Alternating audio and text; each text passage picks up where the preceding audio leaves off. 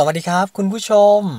มาแล้วนะครับสำหรับรายการสาระน่ารู้ around the world นะครับ ซึ่งในครั้งนี้นำเสนอเป็นตอนที่ 40 ในชื่อตอนที่ว่าขยาวงการประวัติศาสตร์ นักวิชาการชี้ กรุงศรีอยุธยาไม่ใช่ราชธานีแห่งที่สองของไทย ด้วยเหตุผลที่เถียงไม่ออกนะครับ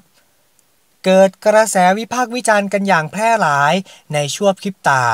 หลังแฟนเพจ Made in อุตสาคเนนะครับ ได้โพสต์บทความของสุจิต วงเทศ นักเขียนรางวัลศรีบุรพาประจำปีพุทธศักราช 2536 ว่าเรื่องประวัติศาสตร์ กรุงศรีอยุธยาต้องทบทวนใหม่ ซึ่งมันไม่ใช่ราชธานีแห่งที่สองของสยามประเทศ เพราะว่าไม่เคยมีแห่งแรกที่กรุงสุขโขทัยที่ถูกเผยแพร่นะครับลงในมติชนออนไลน์ เมื่อวันที่ 7 กรกฎาคม 2559 ที่ผ่านมานะครับ กล่าวถึงความเป็นมาของประวัติศาสตร์ชาติไทย ในอีกแง่มุมหนึ่ง ที่แตกต่างจากที่เราเรียนมากันอย่างสิ้นเชิง ก่อนหน้านี้นะครับ เรื่องราวประวัติศาสตร์ไทย ที่เราต่างได้เรียนรู้มา ก็มักจะระบุว่า อาณาจักรอยุธยานั้นถูกสร้างมาอย่างโดดเดี่ยว ไม่มีเครือญาติทางชาติพันธุ์ และภาษาเป็นเพียงคนไทยแท้ ที่อพยพมาจากเทือกเขาอันไต หรือว่าน่านเจ้าอย่างไร้เหตุผลสนับสนุน ซึ่งแท้จริงแล้วนะครับ สมควรยกเลิก การนำข้อมูลที่คลาดเคลื่อนเช่นนี้ มาใส่ไว้ในประวัติศาสตร์ พร้อมทั้งทำความเข้าใจใหม่ ตามหลักฐานแท้จริงที่ปรากฏดังต่อไปนี้นะครับ ข้อที่ 1 คนไทยไม่ได้อพยพมาจากเทือกเขาอันไต ข้อที่ 2 สุขโขทัยไม่ใช่ราชธานีแห่งแรกของไทย เนื่องจากในสมัยนั้นยังไม่มีประเทศไทย ต่อมาข้อที่ 3 นะครับ กรุงศรีอยุธยาไม่ใช่ราชธานีแห่งที่สองของไทย ที่ถูกสร้างขึ้นหลังอาณาจักรสุขโขทัยล่มสลาย เนื่องจากความจริงแล้ว อาณาจักรอยุธยามีความเป็นมายาวนานกว่าสุขโขทัยมาก รวมถึง มีส่วนสนับสนุนให้สุขโขทัยเกิดรัฐอีกด้วย ต่อมาข้อที่4นะครับ คนไทยแท้ไม่มีคำว่าไทยและคนไทย เป็นเพียงแค่ชื่อทางวัฒนธรรมเท่านั้น ไม่ใช่ชื่อทางเชื้อชาตินะครับ และข้อที่ 5 ข้อสุดท้าย กลุ่มคนที่เรียกตนเองว่าไทยหรือว่าคนไทยนั้น เพิ่งปรากฏหลักฐานเมื่อประมาณ ปีพุทธศักราช 1800 เท่านั้นเอง ซึ่งเกิดขึ้นแถบลุ่มแม่น้ำเจ้าพยาภาคกลาง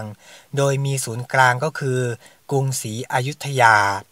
จึงมีการตั้งข้อสังเกตนะครับ บทความในหนังสือ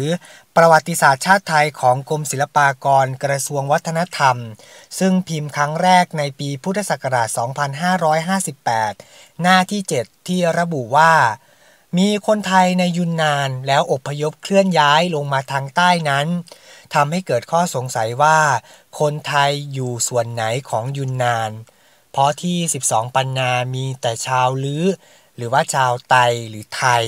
ที่ไม่ได้เรียกตัวเองว่าไทยนะครับ นอกจากนี้ยังมีรายละเอียดปลีกย่อยอีกหลายส่วน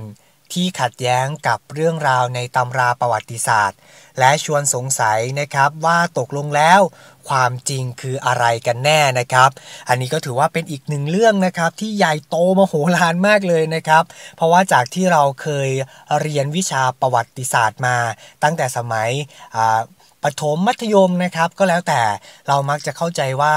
สุโขทัยเป็นราชธานีแห่งแรก ของประเทศไทยสยามประเทศนะครับของเรา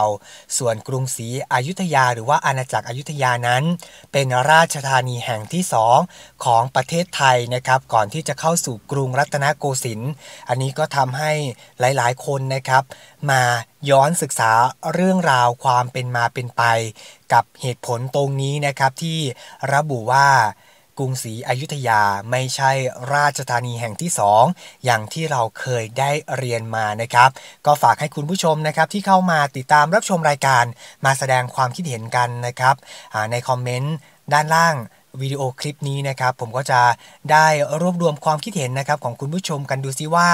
เรื่องราวมันมีแนวคิดและวิธีการแบบใดกันแน่นะครับ ถึงทำให้มีเรื่องที่เข้ามาขัดแย้งกับประวัติศาสตร์ ที่เราเข้าใจและก็ศึกษากันมานาน อย่างในเรื่องของกรุงศรีอยุธยาและก็กรุงสุขโขทัยนั่นเองนะครับ ขอบคุณคุณผู้ชมนะครับที่เข้ามาติดตามรับชมรายการต่างๆ ผ่านทางช่อง YouTube อัศวรักษ์ channel นะครับ อย่าลืมนะครับกดติดตามหรือว่ากด subscribe ที่ช่องให้ด้วยนะครับ แล้วคุณผู้ชมก็จะได้ติดตามรับชมรายการใหม่ๆ ดีๆ จากทางช่องก่อนใครนะครับสำหรับวันนี้ไปแล้วนะครับ จะเจอกันได้ใหม่ตอนหน้าหวัดดีครับ Audio Jungle.